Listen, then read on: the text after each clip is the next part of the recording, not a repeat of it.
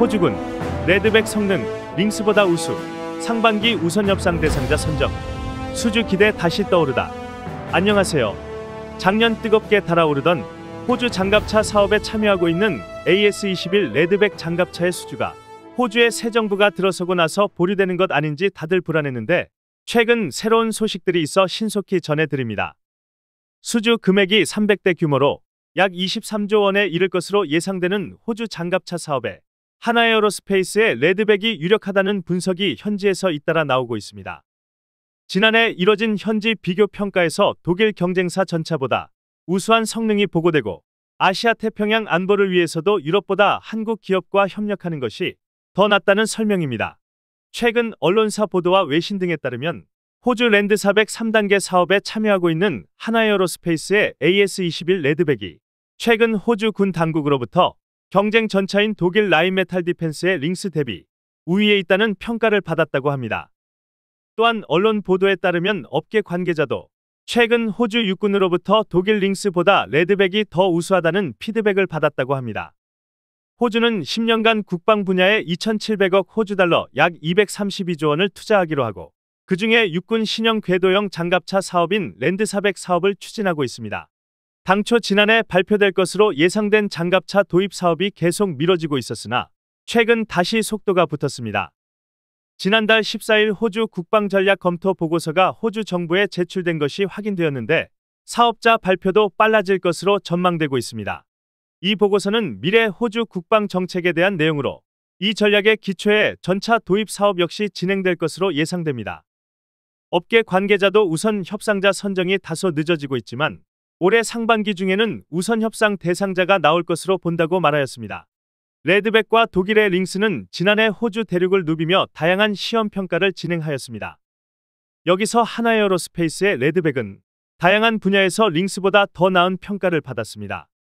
특히 아시아 태평양 지역의 안보 협력을 위해서 한국과 더 긴밀히 협력해야 하는 부분도 레드백 호평에 영향을 미친 것으로 알려졌습니다. 호주는 작년 K9 자주포 1조 원 규모의 계약이 성사되어 현지의 생산 공장을 한창 건설 중에 있습니다. 또한 며칠 전 종료된 2023 에벌론 호주 에어쇼에는 대한민국 블랙이글스 비행팀을 초대하기 위해 에어쇼 주최 재단에서 엄청난 노력을 하였다고 합니다. 국방일보 보도에 따르면 에어쇼 주최 측에서는 호주 부총리 겸 국방부 장관과 공군 참모 총장까지 동원해서 대한민국의 블랙이글스를 꼭 보내달라고 요청했다고 합니다.